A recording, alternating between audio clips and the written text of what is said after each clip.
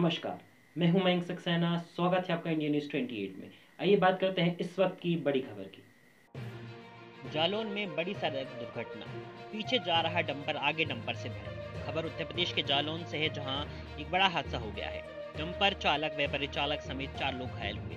घायलों को सीएससी पहुँचाया गया, जहाँ से उन्हें मेडिकल कॉलेज रेफर किया गया। बुधवार की दोपहर मुरई की ओर से एक डंपर जालौन की ओर जा रहा था। उसी डंपर के आगे एक और डंपर चल रहा था। जैसा कि वह अकोड़ी दुबे के पास पहुँचे तो पीछे चल रहे डंपर के चालक जितेंद्र घोष उम्र 45 वर्ष, निवासी चंद्रपुरा, जतारा, टीकमगढ़, मध्य प्रदेश ने आगे चल रहे डंपर को ओवरटेक करना चाहा। लेकिन ओवरटेक करते हुए वह डंपर को निकाल नहीं सका, बल्कि डंपर के आगे जा रहे डंपर से टकरा गया, जिससे डंपर का अगला हिस्सा पूरी तरह क्षतिग्रस्त हो गया। हादसे में चालक जितेंद्र घोष व परिचालक ब्रजकिशोर उम्र 38 वर्ष, गंभीर रूप से जख्मी हो गए। सूचना पर मौके पर पहुँची एंबुलेंस ने चालक व परिचालक को सीएससी में पहुँचाया, जहाँ प्राथमिक उपचार के बाद दोनों को मेडिकल कॉलेज उरई रेफर किया गया। उधर हादसे के बाद दोनों क्षतिग्रस्त डंपर सड़क पर ही खड़े रहे। कुछ समय बाद ट्रेन मौके पर पहुँची। क्रेन की मदद से क्षतिग्रस्त डंपर को सड़क से हटाया गया, जिसके बाद यातायात सुचारू हो गया टीम स्टूडेंट के लिए ब्यूरो चीफ राकेश जैन की रिपोर्ट।